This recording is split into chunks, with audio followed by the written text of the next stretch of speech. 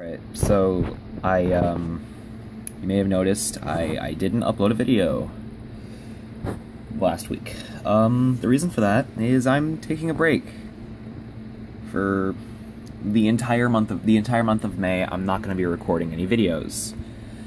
I, I I'm just taking a moment to step back and um, gather my thoughts, gather my ideas, gather you know ideas, what I'm going to do going forward. I'm trying to re like evaluate my content. Okay, so no for the entire month of May, no videos.